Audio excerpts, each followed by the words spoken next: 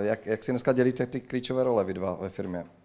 Co má kdo na starosti? Marketing, logistiku, strategii?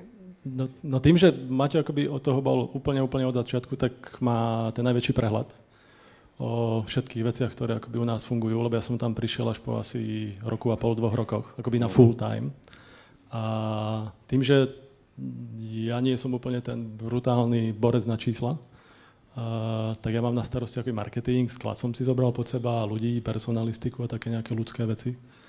A, a máte práve obchod, a analytika, a financie a účtovníctvo a tak. No, Myslím, že jsi to dobře zhrnul.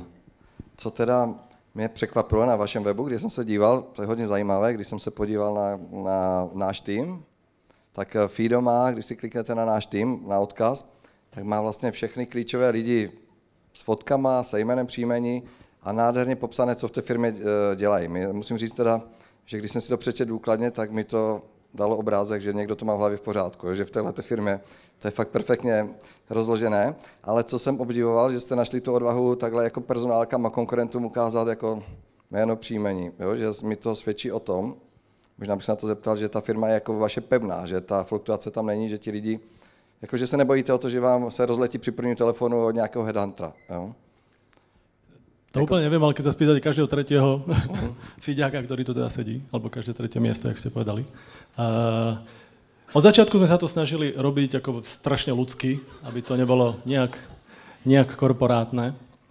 A všade sa snažíme uh, nejak tvrdiť, že Molčan Karafa není Fido, Fido sú proste ľudia, ktorí to vytvárajú uh-huh. a, a snažíme sa akoby tlačiť, aby len my sme neboli niekde stále tá tvár, len sme nejak zistili, že by sme tu všetci nevošli dneska za stoleček.